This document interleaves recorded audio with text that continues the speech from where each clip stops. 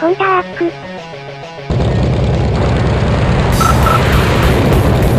はい、レシプロ機でもまだまだいけるはるかです。今回も海軍、乗る機体は A1、スカイレーダーです。スカイレーダーは、大戦後に開発されたレシプロ艦上攻撃機で、大きなペイロードが特徴です。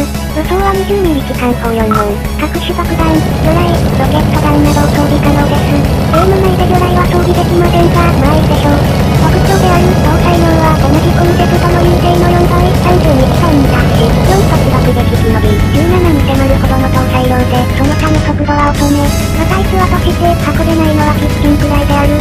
土導され、両戦戦争で、が被害を装備安度投下し、キッチンを運べることを証明しました。